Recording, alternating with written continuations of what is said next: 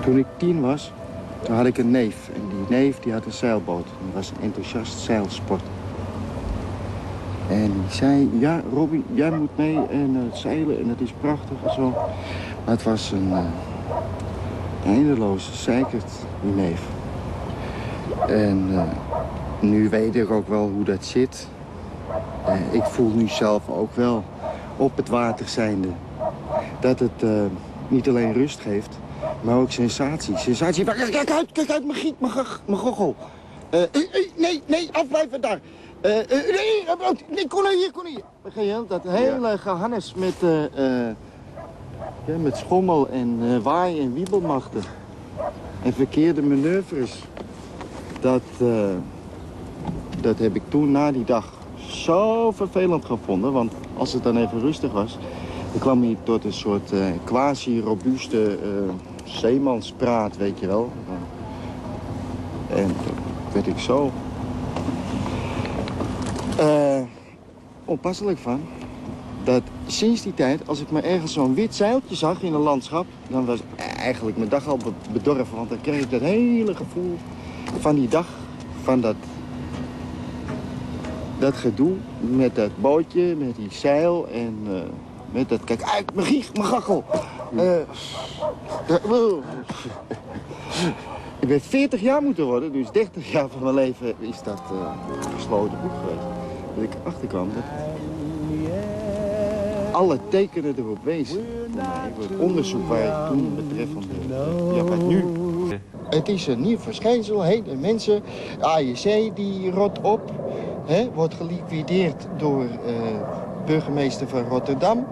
Uh, dit heet ruimte dan. Uh, de jeugdbeweging ligt op zijn reet. Uh, de jeugd houdt niet meer van schoolbakken. dat was het grote fenomeen van de jaren 50. Dat de jeugd, wat is er met de jeugd? De jeugd is ongrijpbaar. De jeugd die speelt op straat. De jeugd die hangt bij poffertjeskramen. De jeugd die hangt bij patatfrietkramen. De jeugd die, die wil met leren jasjes op een motor zitten. En die is asociaal. Die is a-religieus. Die is A-cultureel. Die is A-literair.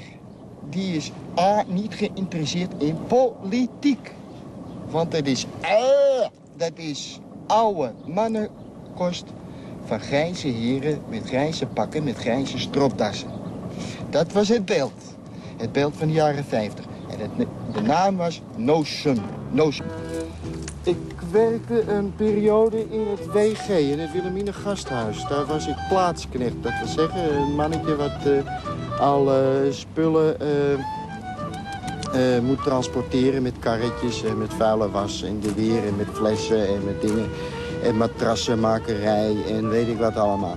Maar goed, en, toen maakte ik handstanden op een stoel om een beetje de bloedsomloop te stimuleren. En toen brak die stoel, was een hele wrakke stoel. En toen kwam ik met mijn hoofd op het schedeldak op de grond terecht. Toen had ik een hersenschudding. En toen ben ik opgenomen geweest in het Beatrix herstellingsoord. Bij het Oosterpark. Ja.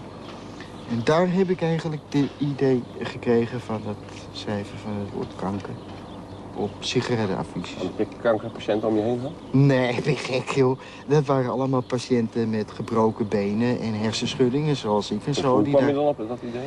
Omdat het hele roken... Verslaving van het roken zo'n groot embleem was daar. Dat was zo'n grote zaak. Want je mocht niet gerookt worden op zaal. Maar het waren geen zieke patiënten. Het waren patiënten met rust. Rustoord weet je, was het. Par oh ja, dus zijn gebroken benen, armen. Dus, dus die gingen al die nicotines, die, die schuifelden met die grote klomp gips naar de wc... om even een sigaretje te roken. Jij ook? Nee, want ik wou uh, in een diepe concentratie komen. Met autohypnose wou ik komen tot een diepere concentratie op... wat wil ik nou eigenlijk? En ik dacht, maar mijn hersenschudding, ik moet rustig, rustig, rustig. Diep ademhalen, diep denken, wie ben ik? En toen hoorde ik dat. Zuster, zuster, als ik nou een sigaretje had, was ik niet zo vervelend. En toen dacht ik, ja, dat is het. Dat is de habit. Dat is de aansluiting met het volk. Ik ben het volk. En het volk is om mij. En ik hoor deze smeekbeden van... Zuster, zuster. Als ik nou een sigaretje had, dan was ik niet zo vervelend, vervelend, verve- vervelend. En eh, toen las ik kort daarop in, een, het Christelijk Nationaal Weekblad De Spiegel, wat daar lag... las ik een verhaal over de oudste sigarettenfirma in Nederland. Stond er geschreven en die heette Kerkhof. En eh, toen ben ik daar gaan roepen met mijn, eh, met mijn hersenschudding hoofd. De eerste sigarettenfabriek in Nederland was die van de firma Kerkhof. Geef dat niet te denken, heren. Riep ik zo tegen die andere patiënten, weet je. Die werden de hels van, van dat soort. En toen is het, ja, dit is de, dit is de, eh, weet je wel, dit is het.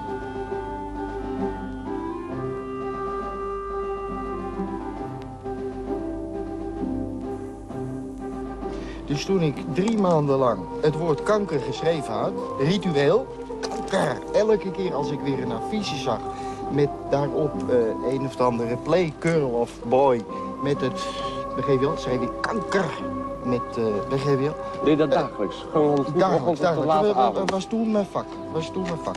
Dus gewoon s ochtends stond je op bij wijze van Eh, spreken? s- ochtends stond, eh, stond ik op, want ik leefde toen met een vrouw. En die ging naar het overkant van Tij voor een of andere kantoorbaan. En die moest om eh, half acht de deur uit.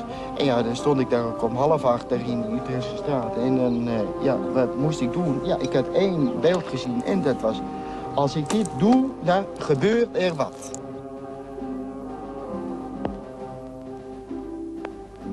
Na drie maanden dagelijkse rituele schrifturen van eh, kanker. Of K alleen ook? Oh, ja, maar meestal toch wel vooruit. Ik bedoel, als je eenmaal toch daar staat, dan kun je net zo goed ook kanker schrijven. Dus, hè. Eh, dat toen eh, ik daar een prestige-object had gevonden op de Nieuwzijds Voorburg dat bleek later, dat was tegenover het hoofdkantoor van de NV Publix. Die dus al die zuilen exploiteerde. Dat was een zaak, een miljoenenzaak hoor. En eh, toen op een nacht, toen was ik daar weer, dacht ik, kwam ik terug uit van andere beslommeringen, zou ik maar zeggen. En toen dacht ik, ja, ik moet nou eventjes langs die eh dinges en eh, even kanker schrijven. Want dat is weer overgeplakt natuurlijk.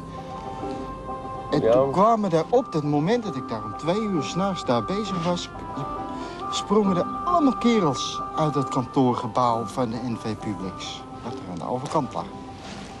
En al heel gauw was dus de politie erbij.